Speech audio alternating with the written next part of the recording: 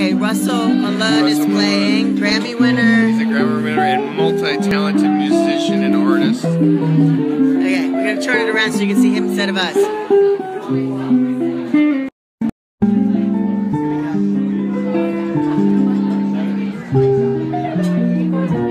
you win a Grammy? Should I know who you are? No, no, no. Excuse me. But I am a no, no, Hanohano award winner. Oh, Which is like the Hawaiian Grammys. of course, of course, yeah. But not for you know, playing. I, I was I produced something. But alright. Producing's fun, isn't it? Yeah. Oh. Yay! This is Russell Malone.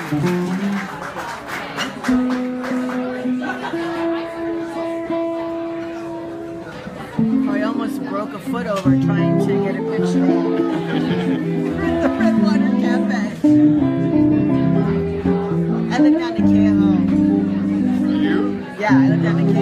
and so I'm so excited that the iguanas are over there because I've been looking forward to seeing them for like four years. Oh yeah. And I miss them. They're playing in PA. They're playing in Montreux. I go to the Montreux Jazz Festival. Uh-huh. And Nice. uh, I saw that they were coming here. I'm like beside myself. Right on. This is Eric Marienthal, another Grammy winner. This is Eric Marienthal. Marienthal. Eric Marienthal. Somebody who also has a brand. And is a great person too. Well, that's important, isn't it? Yeah, yeah. It's like, you know, you can be like guy. a good musician, but like, are you a good person? Yeah.